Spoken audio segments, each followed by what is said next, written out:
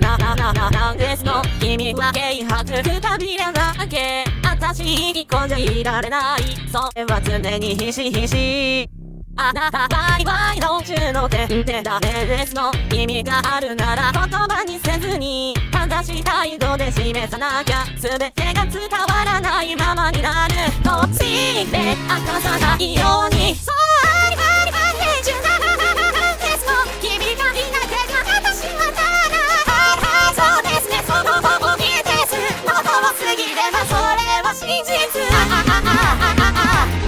場所へ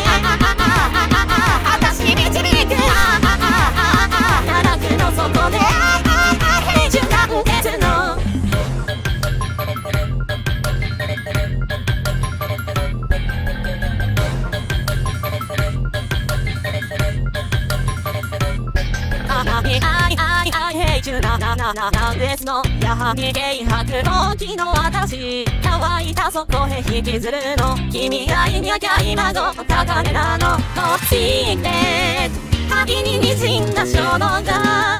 喉を焼けとさせる